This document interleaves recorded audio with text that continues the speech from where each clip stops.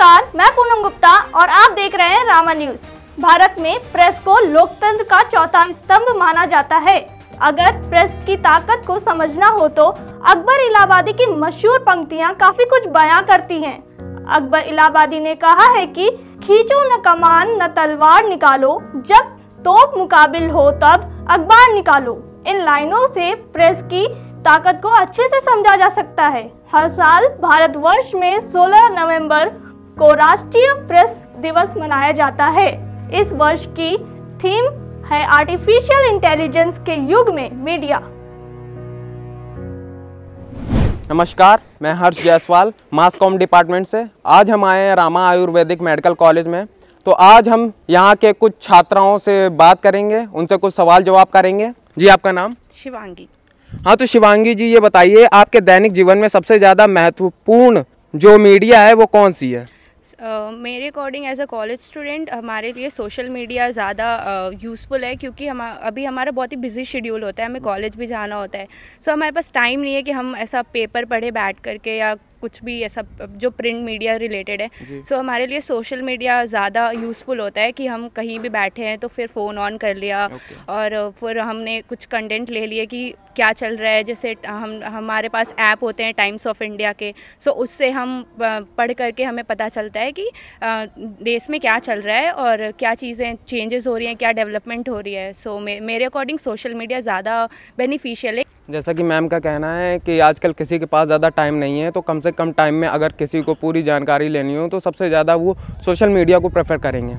Ma'am आपका नाम? श्रुति मौर्य। जी आप बताइए आपके दैनिक जीवन में सबसे ज़्यादा महत्वपूर्ण योग्यता किसकी है? प्रिंट मीडिया या सोशल मीडिया?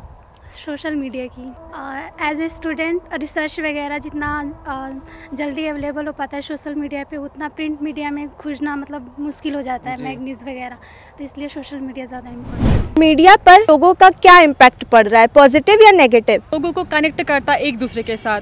और दूसरा इसका इन्फ्लुएंस ये है कि ये जो भी वॉइसलेस पीपल है उनको वॉइस देता है। जहाँ पर भी लोगों के साथ अगर कभी भी इनजस्टिस हो रही है तो लोगों को पता चल रहा है कि क्या लॉज है क्या हमारी सोसाइटी में क्या लॉज इम्प्लीमेंट हुए जो लोगों तक पहुँचा रहे हैं? आपकी क्या राय है इस पर? जैसे मीडिया का जो इम्पैक्ट है वो पॉजिटिव भी है और नेगेटिव भी है। तो जैसे मोस्टली पॉजिटिव है वो वाइड स्प्रेड में है क्योंकि जो मीडिया है वो हमारी डे टू डे लाइफ से भी इन जो भी आसपास एरिया में हो रहा है डिज़ीज़ कंडीशंस हो गई चाहे कुछ भी कहीं हल्ला दुंगा हो रहा है चाहे कुछ भी हो रहा है उसके बारे में अवगत कराते हैं। आज हमारे साथ जुड़ रहे हैं रामा आयुर्वेदा के कुछ छात्र छात्राएँ तो मेरा सवाल आपसे ये है कि प्रिंट मीडिया और सोशल मीडिया में से कौन सा बेहतर है? मेरे मुताबिक सोशल मीडिया ज़्यादा बेहतर है, क्योंकि इसमें कम समय में ज़्यादा जानकारी की उपलब्धि होती है हमें। और हमें कनेक्टिविटी ज़्यादा देशों की मौजूद हो रही है। कई सारी जो छुपी हुई कल्चर थे, वो हमें जानने को मिल रहे हैं, क्योंकि लोग अपने छोटे छोटे प्लेटफॉर्म उनको मिल चुका है। यूजुअली जो हम नेपोटिज़म कहते हैं, वो अब इसके थ्रू नहीं हो पाता। सब अपना शोकेस करते हैं और जनता सब देखती है उसको। तो रियलिस्टिक होता है और ट्रांसपेरेंसी होती है इसमें। बहुत बहुत धन्यवाद आपका कीमती समय देने के लिए। नमस्कार मैं हूँ सुरेश त्रिपाठी पत्रकारिता एवं जनसंचार विभाग से। स्वागत है आपका रामा न्यूज़ में। राष्ट्रीय प्रेस दिवस के अवसर पर मौजूद है हमारे साथ रामा विश्वविद्यालय की content writer Neha Tripathi ma'am बहुत बहुत स्वागत है आपका मैम धन्यवाद। राष्ट्रीय प्रेस दिवस के उपलक्ष्य में मैं आपसे एक प्रश्न पूछना चाहता हूँ कि मीडिया का क्राइम पर क्या प्रभाव पड़ रहा है? देखिए मीडिया को पत्रकारिता को, यानी पत्रकारिता को चौथा स्तंभ माना जाता है। अकबर इलाहाबादी की एक मशहूर शायर रहे हैं। उनकी एक शायरी मैं पढ़ना चाहूँगी।